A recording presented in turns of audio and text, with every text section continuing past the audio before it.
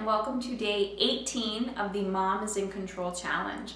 And today is all about shaking it out. You can be like Taylor Swift and just shake it out, but this is what I highly, highly recommend.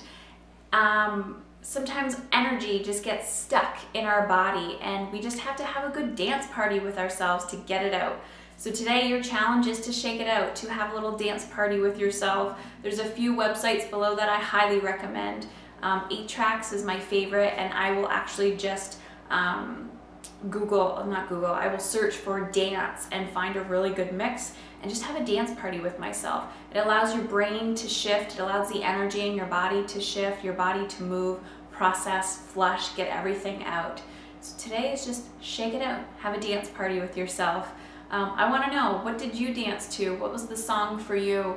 Post it, post a video um, if you want in the Facebook community, and I will see you tomorrow.